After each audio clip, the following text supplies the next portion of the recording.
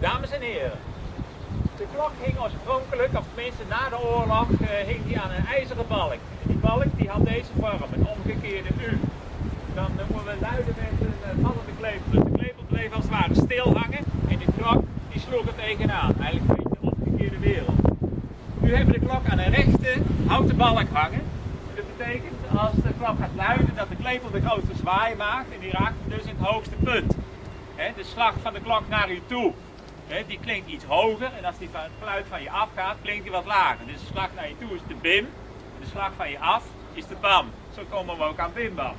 Ja, ja. Uh, ja, de hele balk erboven is dus nieuw. Uh, er was een wiel op de klok waarmee we de klok, uh, waar het touw aan vast zat. En uh, dus werd met een luidwiel geluid en dat is nu een rechte stok geworden. In de klok is een nieuwe klepel gekomen klepel was dus niet meer geschikt voor het luiden met vliegende klepel. Dat moet toch een klepel zijn met een mooie staart eronderaan. Dat is dus hè, het verlengde stuk onder de bol. Uh, de hele klokkenstoel is uh, uiteraard opnieuw geschilderd. Daar heeft uh, het college van kerk Rentmeesters voor gezorgd. En toen hadden we ook nog, ja, dan keek je zo eens naar zo'n klokkenstoel en denk je, ja, dat, dat torenkruis wat er bovenop staat, dat stond toch wel een beetje scheef. Dat hebben we een flink stuk rechter gezet. En het haantje hebben we ook maar even opnieuw laten vergulden, want dat is dan als het ware de kers op de taart. En dan moet het er ook goed uitzien. Uh, dat is alles wat er aan gebeurd is. Maar als je zo'n klok vliegend gaat luiden, oefent grote krachten uit op de klokkenstoel. Een klok die vliegend geluid wordt, die kan, uh, als je flink hoog opluidt, krachten uitoefenen tot drie maal zijn eigen gewicht. Dus een klok van 200 kilo, hè, zo is deze zo ongeveer, kan rukken geven aan de klokkenstoel tot zo'n 600 kilo. Ja, dat is toch wel veel. En om nou te voorkomen dat hij door trillingen langzaam maar zeker van zijn fundering af zou schuiven, eh, is de klok verankerd aan de zwerfkeien die eronder zitten. Uh, daar zien we bijna niks van, maar hier tekent zich nog een vierkant af. Er is dus een gat ingeboord tot diep in die steen. Daar is een roeststalen draadeind in gegaan en dat chemisch verankerd. Dus er is een vloeistof ingegoten die zich later verhard heeft. Dat is hier vastgezet en later is daar weer keurig netjes een stuk hout van dezelfde houtsoort ingelijmd en dat is keurig netjes zo afgewerkt. Voorkomen we ook gelijk dat uh, de klokkenstoel ooit zou kunnen omwaaien. En zeg je, nou ja, kan dat nou gebeuren? Nou, in 1972 is die omgewaaid. Dus het is niet ondenkbaar.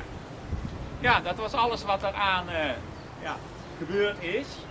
En uh, aangezien mevrouw van Beuning van IJsega het balletje aan het rollen heeft gebracht, vind ik nu ook dat het aan haar is om de klok uh, in te luiden. Dus ik wil haar graag uh, uitnodigen om als eerste de klok te luiden. Voorzichtig aan het touw trekken. Ja, je mag flink doortrekken. Met twee handen. Met twee handen.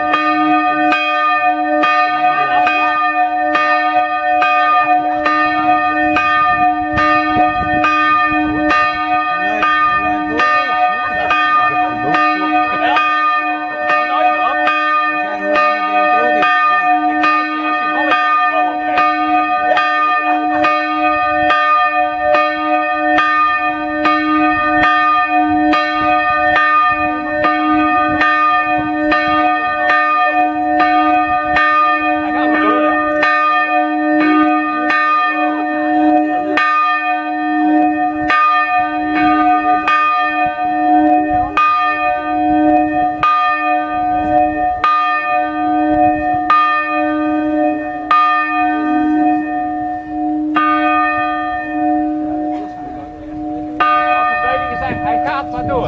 Dan krijg je als er ook nieuwe lagers op komen, hè, dan loopt hij zo soepel, dus dan gaat hij maar door. Oh, ja. Mooi! Mooi hè? Mooi!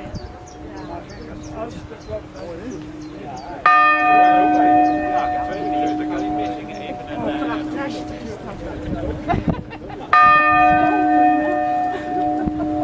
Als ik u namens de Protestantse gemeente u deze aanroep. Heel hartelijk dank.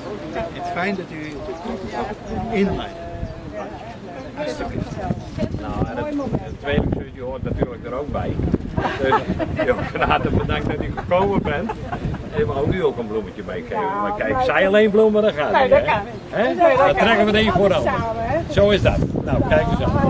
We hebben ze extra laten inpakken, want we wisten wel dat ze naar België toe moesten. Maar dat duurt nog wel een paar dagen. Dat duurt wel een paar dagen. Oké, goed zo. Graag een applaus. Goed zo.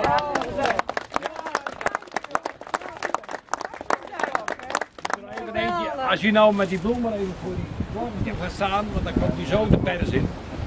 Komt die in de krant. Ja, dan moet je wel weten waar het om gaat. Hè? Ik niet, hè? Ik niet, hè? Ja, natuurlijk. Ja, joh. Kun je mij een foto vertellen? hè? Mooi de bloemetjes. Zo. Ja, helaas. Meest lieflijke glimlach. Ja. Zie je wel?